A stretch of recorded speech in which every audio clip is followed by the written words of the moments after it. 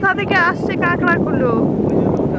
হ্যাঁ পুরো ভয়ে দৌড়াচ্ছে একটা খুব ভালো ভিডিও তুললাম